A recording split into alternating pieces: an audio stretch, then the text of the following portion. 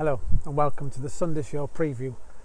Today we're talking, well, the sunflower competition. I had a question from Morag in Canada about how we actually measure the sunflower. So I've just finished my cup of tea, so cheers, that was rather lovely, nice to have.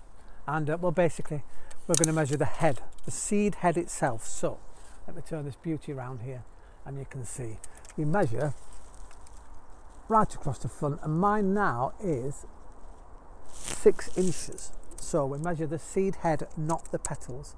And the height? Well we should measure up to the center of the sunflower head itself.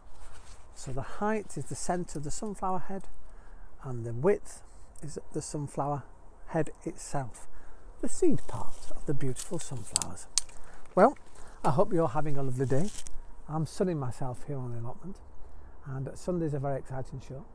You'll see the produce that I've picked that we had for tea the other night and lots of other things. More viewers' photographs from around the country and of course we'll answer some of your questions this week.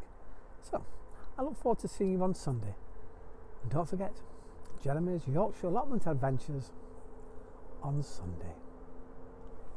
Oh, by the way, thanks very much for clicking the link because you now can get me in full HD via YouTube. Yes, full HD. You can watch me on your television, many of you have.